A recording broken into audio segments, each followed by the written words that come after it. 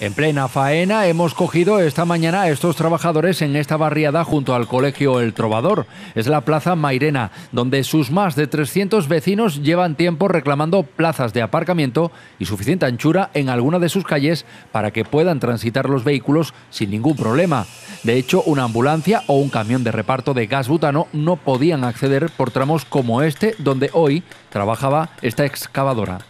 como estamos ya prácticamente en una barriada que está muy al centro, pasando la pasarela, pues confluye mucho tráfico y muchas personas. Entonces tenemos que, eh, después de que esta, esta barriada es muy extensa, tiene muchos aparcamientos, pero se nos hace chica y se nos hace pequeña en algunas horas por el, por el tránsito de vehículos, de personas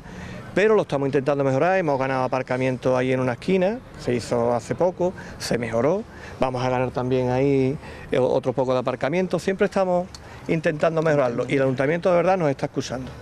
El Ayuntamiento de Chiclana, a través de vías y obras, llevaba tiempo hablando con los vecinos de la zona porque esta era una reivindicación histórica que no se terminaba de ejecutar de estrechamiento por alguna zona de, la, del acerado, de tal manera que los vehículos aparquen holgadamente y sobre todo los vehículos que van a, circunvalar la, propia plazaleta de Antonio Mairena. Digamos que esto junto con la campaña de mantenimiento de viario y de mantenimiento de acerado, pues desde la Delegación de Obras lo que queremos es hacer un poquito más felices a los vecinos y que estén un poco más cómodos. La inversión de más de 18.000 euros supone reformar la Plaza Antonio Mairena y está siendo llevada a cabo por la empresa chiclanera Reyes Aragón. El objetivo es que puedan estar finalizados los trabajos a lo largo del próximo mes de enero. Decía el secretario de esta asociación vecinal que hay un buen entendimiento con el ayuntamiento, que siempre ha escuchado sus demandas y entienden que poco a poco empiezan a materializarse,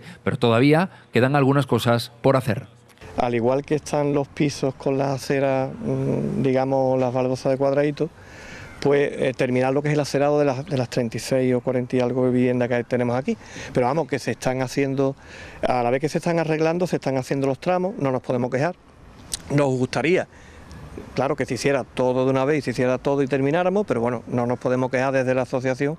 porque estamos viendo que vamos con la reivindicación de un problema y le sacamos un poquito más y le sacamos un poquito más hasta que ya se pueda terminar. Por lo pronto, hoy los vecinos se mostraban satisfechos en una barriada donde cientos de familias viven y conviven día a día.